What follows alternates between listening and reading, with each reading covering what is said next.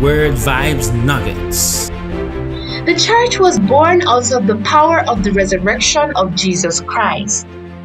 Those of us who are born again, if we be risen with Christ, we have to be risen with Him to have that hope or new life that came with the salvation experience.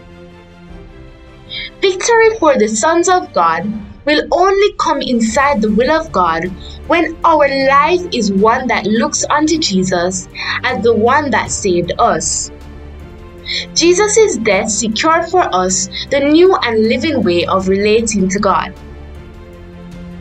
God designed a plan that the Lamb of God would be slain for the sins of the world.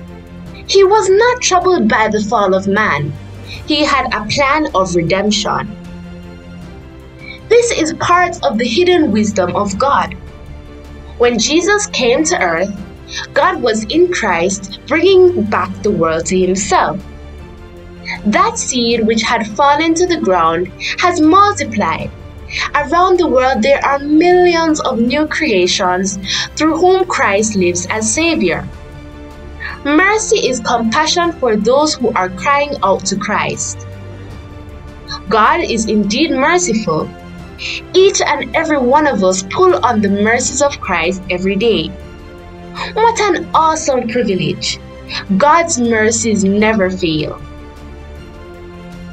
He was risen by the power of the Holy Spirit to bring forth many more children. God offered up His only Son freely, and through His death, we are now begotten sons of God, and we live in the Spirit of Christ. Jesus was a vessel of mercy. We need to cry out to Him, and He will extend mercy to us. Even on the cross, Jesus had mercy on the thief who cried out to Him. We should be vessels of mercy if Christ dwells in us. Two reasons there are not a lot of vessels of mercy are we are not looking unto Jesus as the merciful high priest in us or we are filled with pride or malice. God wants us to live a life of humility and expression of mercy by walking in obedience to His word and walking in a spirit of unity in Christ. Jesus is our merciful high priest. Shine, Jesus, shine. Fill this land with the Father's glory. Blaze, Spirit, blaze. Set our hearts on fire. Flow, river, flow. Flood the nations with grace and mercy. Send forth your word, Lord, and let there be a light.